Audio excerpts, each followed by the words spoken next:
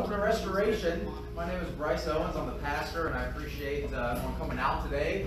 And uh, I want to welcome our, our guests today. So it's nice to see some new faces here. We have Erica's Papa. Papa. Erica's Papa is here. So Papa. Papa. So I got to remember that. Erica's Papa. Uh, so it's great to have everybody out today. Um, and uh, we do things a little differently here. Um, just to let the guests know. So we dive into God's Word first, we preach the Word, get our hearts right, and then we go into our song time where we worship and praise our God. So uh, if you want to open your Bibles to, uh, Deidre the clicker. Ah, there. Yes. Boom. 1 Samuel chapter 8. 1 Samuel chapter 8. This uh, message is entitled Rejecting God. Rejecting God. Um, just some announcements for uh, coming up. So we have our nursery completed, and I kind of uh, jumped the gun a little bit when I did my Facebook Live video because Deidre's correcting me on that a little bit. Um, that's what a good wife does. Is we don't have necessarily workers signed up yet for the nursery. Okay, so if you need to use the nursery right now, it's going to be parent run, so you can go in there with your child for now. And uh, I believe the security camera's on the table, and it's still working, so it actually has sound to the camera, so you can still hear me preach, and then you can have your child in there for now. Um, we have a sign-up sheet uh, if you want to be a worker in the nursery, and we're going to have some policies and procedures to go over. Huh? Oh, they're already back there. Um, I already talked to our insurance company, and I think it's a good thing to give peace of mind to any guests bringing their children in because we, we live in a wicked world. Would you guys agree with that? Um, a lot of bad that is going on. And so, for anybody that is going to be working with children, because I believe children are precious and I'm going to protect them with my life, that you have to sign up to do a background check. And the church will pay for that. So that way there's nothing, it keeps everybody safe. And then that way parents know, hey, we do a background check on our workers. Um, training program that we're going to have set up to keep the kids safe and to keep you safe because that is of utmost importance. So I just want to let everyone know that. So if you're going to be signing up.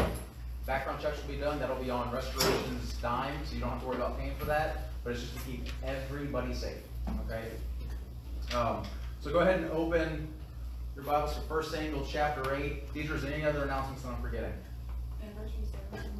Our anniversary service is in two weeks. Thank you. Man, a year. Can you guys believe that? A year has gone by since that pavilion. And uh, it was hot that day, and it's probably going to be hot on that anniversary service as well, so that's okay. What's the date of that, Pastor? August 9th. August 9th. So it'll be at the pavilion there in Fayetteville, uh, or here in Fayetteville, right in the center of town. So, because we have electric there still, I believe, At the park. at the park. Um, and we had it underneath the pavilion where the ball fields were at, and it was a good time. So, uh, the very first service, it was just me and Deidre and the kids. And then the second service, uh, Colt and Tirza, his wife, and Colt's other wife, aka his mom, Kelly, showed up, and uh, it, was, a good day. Sorry, and I only say that because she's embarrassed right now because I was nervous. Okay, when I meet new people, I'm just like right now I'm nervous. I got visitors, I got butterflies in my stomach. I'm always nervous meeting new people. So you know, I'm starting a ministry. God's called me to do this. I am nervous because I got Tirza and Colt coming. I really don't know Colt, and then. Uh, now he's bringing his mom, so I'm like, oh, butterflies in the stomach. I'm like, hey, I'm Bryce. And she goes, hi, I'm Kelly Colt's wife. And then as soon as she said that, she was like, ah, I mean, his mom. And I just laughed. And it was like so easygoing. And I'm like, I love this. And it broke the ice. So um, it was great. And I loved it.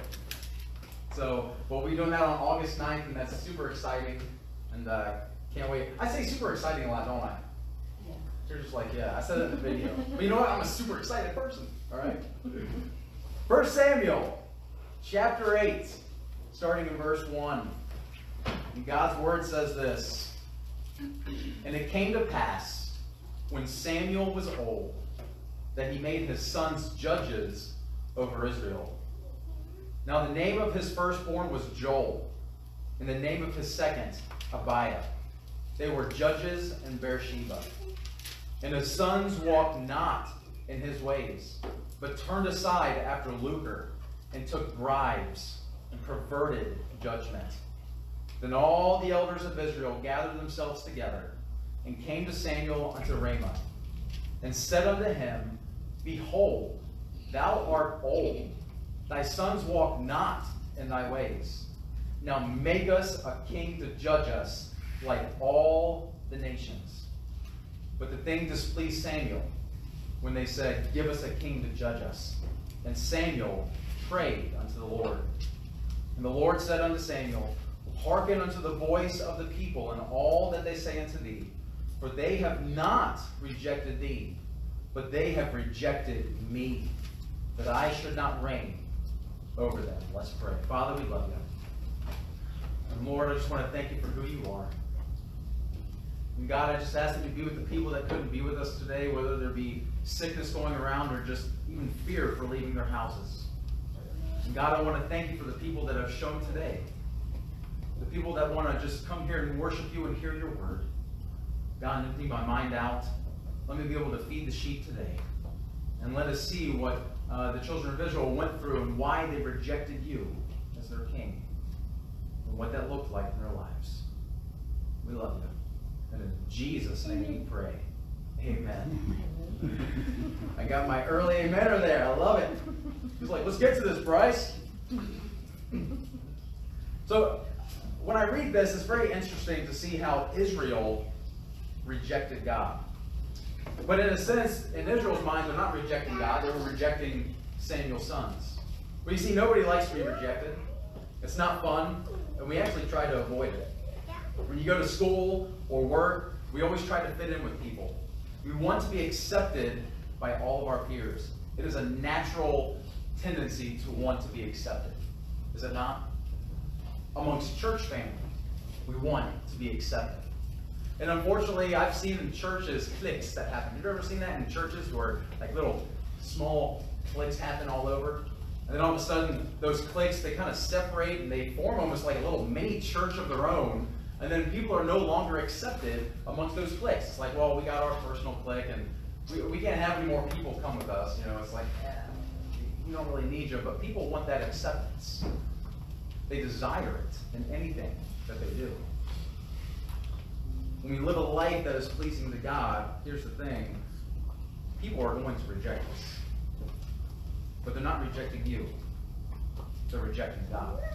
See, Samuel was upset because Israel wanted a king.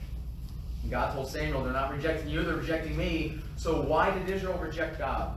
Why do they want to be like other nations?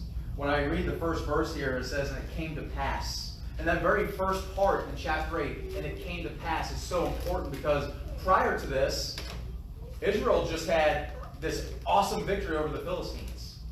You know, the, Israel came back to God. They said, hey, Samuel, we've messed up. And Samuel's like, yeah, you have. And so 20 years had passed, and uh, they said, you know, we want to get right with God. And Samuel said, go to Mizpah and just go there and wait. And they picked up the pitchers of water and poured them out to show their sorrow for God. And then all of a sudden, the Philistines heard that they were at Mizpah, and they said, hey, they're gathered together. Let's go slaughter them. And then the Philistines came, and Israel feared, and they said, hey, Samuel, cry out to the Lord for us. We are scared to death. You need to do something. So Samuel's like, all right, I'm going to do it. You guys just need to keep praying. So he sacrificed that sucking lamb unto the Lord, the whole thing. And what happened? God came down and thundered upon the Philistines. He scared them. He even killed them. And then the Philistines went off a running after he killed so many. And then Israel was like, yeah, we can do this. And then Israel chased after them. All right? And then all their cities were restored, and all this stuff happened. And then at the very end of that, it said that there was peace between Israel and the Amorites. Peace between them. Man, it would be amazing. Peace. It would be nice to have, wouldn't it? Peace in America. More there's some division here and there? But there was peace amongst these two nations. But then here, now we have chapter 8, and it says, And it came to pass, meaning a period of time. I don't know how long this time was. I know Samuel in chapter 7 was probably early 30s. It's probably about my age. I'm a young guy. Early 30s. Living for Jesus. Living for God. Jesus hadn't been there yet. He was still there. But he was doing what he was called to do. And then all of a sudden, now it says when Samuel was old. And I think old man, all right? I mean, this is up there in years, maybe not getting around so well that he made his sons judges over Israel. And his sons didn't do very well, did they? It says that they walk not in his ways. But now we get to this point is why did Israel reject God? Why did they want to be like all the other nations? I want to look at the first thing. God is rejected because of people. Look at verses 1 and 2. And it came to pass when Samuel was old that he made his sons judges over Israel. Now the name of his firstborn was Joel, and the name of his second, Abiah. They were judges in Beersheba. And his sons walked not in his ways, but turned aside after lucre and took bribes, perverted judgment. See, Samuel's sons, they didn't walk in the way that Samuel did. Samuel was somebody that served God from, from his childhood. You guys remember that back in the very beginning of uh, Samuel we've been preaching through this? He served the Lord from just a young lad. He was given to the temple by his mother Hannah. And I, I looked up, because names are important in the Bible. And what Joel and Abiah mean, Joel means to, it is the worship of Jah, or God. And Abiah is very close to that as well, where it's the one that you put God first. And so Samuel's idea, when he named his sons this, this was what was in Samuel's heart. He put God first, and he worshiped God first. This is who Samuel was about. But sadly, his sons were not. His sons took bribes, took the, that lucre, that money, and perverted judgment. Can I tell you this? Israel turned away because of the people, because of leadership. Today in churches, people turn away from God because of people. People don't necessarily get angry with God. They can, and I understand that. You know, bad situations can happen. They, they do, all the time. You know, I often, I often call it Murphy's Law. What can go wrong will go wrong. Have you guys ever heard that? Sometimes in my own personal life, I get angry at Murphy because it seems like there's nothing but Murphy in my life. All right? And it's like, get out of here. So people sometimes can have, they, they just get angry, but in my experience, the biggest thing that I have seen and heard is the reason why people reject God is because of God's people. And that can be pastors. How many churches have you known that have just fallen apart because the pastor was an idiot? The pastor, yeah, Deidre's laughing at me. Yeah, the pastor didn't hold to what God's word said. The pastor preached on opinion. The pastor preached on I believe and not thus saith the Lord. This is the be all end all right here. No more, no less. Not my opinion, but God's word.